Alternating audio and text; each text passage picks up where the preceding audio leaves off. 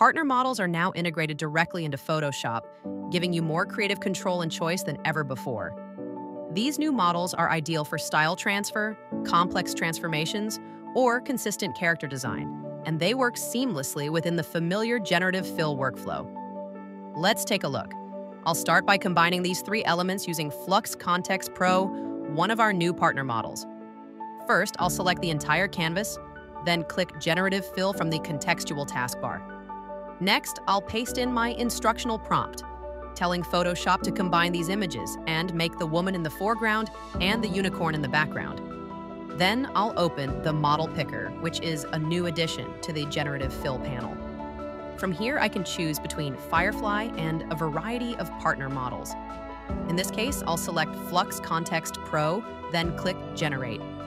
Partner models respond best to instructional prompts, so use verbs to tell the model what to do. For example, combine, transform, or add motion. If you're using Firefly, keep prompts descriptive instead. Focus on what you want to see, not what to do. And just like that, all three elements are merged with a single command.